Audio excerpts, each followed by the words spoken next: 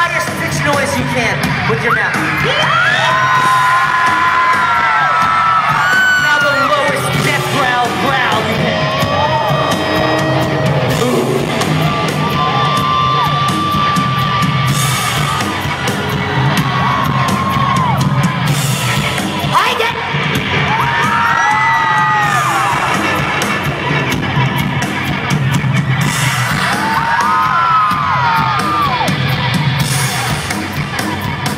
That sounds weird.